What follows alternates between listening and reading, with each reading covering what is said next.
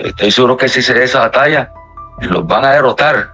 Y tengan la seguridad que si se llegara a esa batalla, van a contar con combatientes sandinistas acompañándolos en esa batalla.